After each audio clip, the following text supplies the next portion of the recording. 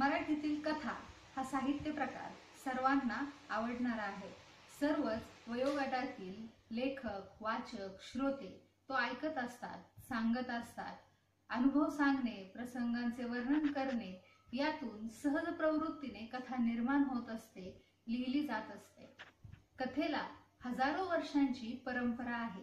तिला एक पार्श्वभूमी आहे. गोष्ट कहाणी कथा नवकथा असा तिचा प्रवास झालेला दिसून येतो. माणूस समाज निसर्ग प्रदेश असे नवीन जुने विषय घेऊन कथा लिहिली जाते. मराठी कथा हाच साहित्य प्रकार पुणे विद्यापीठाच्या प्रथम वर्षाच्या कला शाखेत अभ्यासक्रमासाठी निवडलेला आहे. मराठी कथा ही किती समृद्ध आहे तिची व्याप्ती किती मोठी आहे याची जाणीव विद्यार्थ्यांना व्हावी. तसेच मराठी मराठीमध्ये विद्यार्थ्यांना रुची निर्माण व्हावी यासाठी हा अभ्यास मंडळाचा प्रयत्न आहे. यासाठी नऊ मराठी समकालीन कथा निवडलेल्या आहेत. मग समकालीनच कथा का? दुसऱ्या का नाही असा प्रश्न आपल्याला पडतो. त्या पाठीमागे एक उद्देश असावा असं मला वाटतं की मराठी साहित्यामध्ये खूप प्रकारच्या कथा आहेत. साहित्य प्रवाहानुसार निर्माण झालेल्या कथा आहेत. किंवा वन- विनोदी कथा आहेत पौराणिक कथा आहेत. मग कुठल्या कथा विद्यार्थ्यांना अभ्यासण्यासाठी द्यायच्या? असा प्रश्न असल्याने हा समकालीन कथा याचं नियोजन झालेलं असावं असं वाटतं. कारण याच्या अंतर्गत सर्वच कथा याच्या अंतर्गत सर्वच कथा अंतर्भूत करता येतात. मग समकालीन म्हणजे काय? आणि त्या का अभ्यासायच्या असाही प्रश्न आपल्याला पडतो.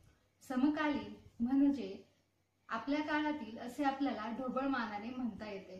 म्हणजे त्या काळात त्या त्या काळात असलेले सामाजिक राजकीय कौटुंबिक असे जे काही प्रश्न होते त्या काळात झालेली चर्चा होती म्हणजे ज्या काळात या कथा लिहिल्या गेल्या त्या क त्या काळात झालेली त्यांच्यावरची चर्चा ही आजच्या काळातही कशी समांतर आहे? आजच्या काळातही हे प्रश्न कसे उद्भवत आहेत किंवा कसे निर्माण होतात? आणि या आजच्या काळाशी ते कसे समांतर आहेत याचा अभ्यास करणं महत्वाचं ठरतं. आणि एक संवेदनशील जाणीवही विद्यार्थ्यांमध्ये निर्माण व्हावी त्यामुळे या समकालीन कथांचा अभ्यास महत्त्वाचा ठरतो. मग या कथा अभ्यासताना नुसत्याच कथा अभ्यासायच्या का? नाही तर मग कथ मग कथेचे जे काही घटक आहेत किंवा कथेचे जे प्रकार आहेत किंवा कथेची जी वाटचाल झालेली आहे संपूर्ण मराठी कथेची ती अभ्यासणंही महत्वाचं ठरतं. कथेचे घटक अभ्यासताना कथानक व्यक्तिचित्रण वातावरण निवेदन भाषा त्याचे स्वरूप आदी असे त्याचे असे कथेचे घटक पडतात. कथानक हा कथेचा मुख्य घटक आहे. यात विषय आशय मूल्यविचार समाजभान याला महत्त्व आहे. घटना प्रसंग हे कालानुक्रमाबरोबर कार्यकारण भावानेही एकमेकांमध्ये गुंफलेले असतात. कथानकाद्वारेच कल्पित वास्तव विश्व कथेमध्ये निर्माण होत असते. कथेचा दुसरा घटक म्हणजे व्यक्तिचित्रण. शब्दाच्या रूपाने या व्यक्तिरेखा आपल्यासमोर उभ्या राहतात जिवंत केल्या जातात. त्यांची स्वभाव वैशिष्ट्ये लकबी या व्यक्तिचित्रणातून आपल्याला कळतात. लेखक त्याच्या जाणीवेनुसार व्यक्तिचित्रण रेखाटत असतो. वातावरण हा कथेचा आणखी एक महत्त्वाचा घटक आहे. कथा कथा ही कथे कुठेतरी घट घडत असते. त्याचे स्थळ काळ वेळ ही आपल्याला अनुभवता यावी. यासाठी शब्दांच्या द्वारे लेखक वातावरण निर्मिती करत असतो. निवेदन लेखक लेखक निवेदनातून कथा आपल्यासमोर मांडत असतो. कथेचा निवेदक हा बहुधा प्रथम पुरुषी किंवा तृतीय पुरुषीच असतो. कथेचा पुढचा महत्त्वाचा घटक म्हणजे भाषा. भाषा हे कथेचे मूलद्रव्यच आहे. लेखक आपल्या मनातले आशय विचार हे भाषेद्वारेच मांडत असतो. हे सारे आपल्याला भाषेद्वारेच कळते. प्रत्येक लेखकाची भाषाशैली मात्र त्याच्या जडणघडणीनुसार वेगवेगळी असते. असे हे कथेचे प्रमुख घटक आहेत. याचप्रमाणे कथेचे काही प्रकारही पडतात.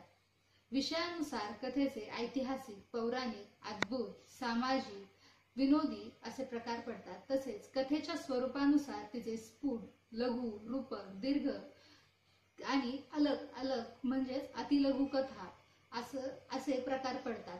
आशयानुसार तिचे गूढ भय अद्भुत नीती असे प्रकार पडतात. तसेच साठोत्तरी कालखंडानुसार कथेचे म्हणजे साठोत्तरी साठोत्तरी काळात जे साहित्य प्रवाह निर्माण झाले त्यातून स्त्रीवादी आदिवासी दलित ग्रामीण असे कथेचे प्रकार पडतात. वाटचाल ही काही टप्प्यांवर आपल्याला सांगता येत आहे सर्वात पहिला टप्पा म्हणजे करमणूक कालखंडाचा. तो अठराशे नव्वद ते एकोणीसशे दहा या काळात या काळामध्ये सांगता येतो. या काळात करमणूक या काल या नियतकालिकामधून कथा ही प्रसिद्ध होऊ लागली. या कथ या काळात कथेला असलेले अद्भुत वळण हरिभाऊ आपटेंनी बदलायचा प्रयत्न केला. यानंतर पुढचा जो कालखंड येतो तो म्हणजे मनोरंजन कालखंड. या काळात ज्या बोधपर कथा होत्या त्यांना मनोरंजनपर कथा करण्याचं काम या काळातील लेखकांनी केलं. या काळात श्रीपाद कृष्ण कोल्हटकर वासी गुर्जर दिवाकर कृष्ण आदी लेखकांनी लेखन कालखंडाचा आहे. यामध्ये कथेने लघुकथे लघुकथा असे म्हणून आधुनिक वळण घेतले. वि स खांडेकर नासी फडके यांनी या काळात कथेला हे वळण दिले. त्यानंतरचा कालखंड म्हणजे अभिरुची आणि सत्यकथा कालखंड. हा कालखंड एकोणीसशे एकोण एकोणचाळीस ते चव्वेचाळीस या काळात या काळातला मानला जातो. या काळात महायुद्ध या काळात महायुद्ध होते आणि त्या त्याचा परिणाम या काळातील कथांवर झालेला दिसून येतो. कुसुमावती देशपांडे जी ए कुलकर्णी ग- गंगाधर गाडगे व्यंकटेश माडगुळकर या काळात कथा लिहिताना दिसतात.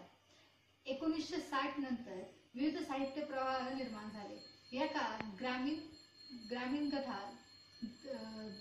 ग्रामीण कथा रा बोराडे आनंद यादव ही मंडळी लिहिताना दिसतात. तर दलित कथा बाबूराव बागुल उर्मिला पवार असे लेखक लिहिताना दिसतात. आदिवासी आणि स्त्रीवादी कथाही या कालखंडात लिहिल्या गेल्या. एकोणीसशे नव्वदच्या टप्प्यावर जागतिकीकरण खाजगीकरण उदारीकरण या विषयांवरती कथा लिहिल्या गेल्या. याच नव्वद नंतरच्या कथेत समकालीन गतिमान दुभंगलेले व्यामिश्र जीवन बदलते बदलते समाज जीवन संघर्ष शेतकऱ्यांच्या व्यथा वेदना हिंसा यावर कथा लिहिल्या गेल्या.